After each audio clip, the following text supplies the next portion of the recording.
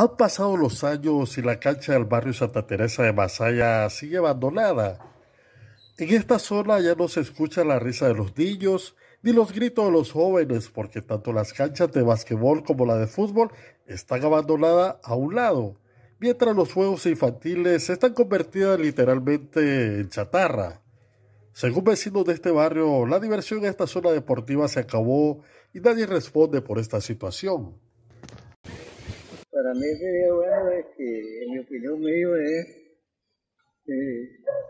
o sea, si lo van a reparar, que lo reparen, y no pues eh, pensar en que el alcalde se preocupe por otras cosas, que sea beneficiado para el barrio. Esa es mi, esa es mi, mi opinión. Ya esta sería como una tercera ocasión de que estamos haciendo el llamado a las autoridades municipales que presten atención a la cancha de Santa Teresa que prácticamente está en el abandono, eh, un riesgo para los jóvenes porque los juegos infantiles para los niños están desbaratados, pésimo el material que utilizaron cuando se hizo la instalación de estos juegos infantiles y si es lo que es la cancha de básquet y fútbol sala, se oxidó el hierro y prácticamente era un riesgo para los jóvenes que les iba a caer encima.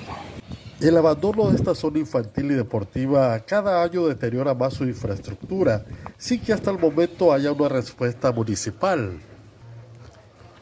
Queremos que componga la cancha y que para que estemos por lo menos jugando en la noche. Más que todo solo queremos que componga la cancha ya. ¿Desde hace cuánto está en mal estado? De hecho ya tiene bastante, más o menos como dos años ya tiene. Lamentable teniendo aquí tres concejales en el mismo barrio y uno que está a cargo de la cancha, que es de apellido Arevalo, y prácticamente como que no les interesa la infraestructura de este barrio. Yo creo que es necesario que se inviertan los recursos porque todo el pueblo de Masaya paga para tener obras de progreso y este es un riesgo para los jóvenes. Lastimosamente se oxidaron y nunca se les prestó la atención debida para el mantenimiento. Mientras los niños y los jóvenes del barrio Santa Teresa esperan por la rehabilitación de esta cancha, lo que quedó de estos juegos infantiles solo es columpiado por el viento. Esto fue un reporte desde la ciudad de Masaya. Noela Milker, Gallegos.